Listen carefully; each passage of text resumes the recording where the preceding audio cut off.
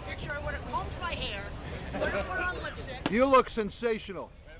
Nobody's gonna believe me I get Tell us, Susie, don't you love us better than Roger Clemens? Say yes. And we've been with you from the beginning. No, I've, been, I've known Roger Clemens since 1982. okay, if Roger Clemens didn't exist, wouldn't you love me better? I love you more than anyone. Mwah, throw me a kiss. Thank you.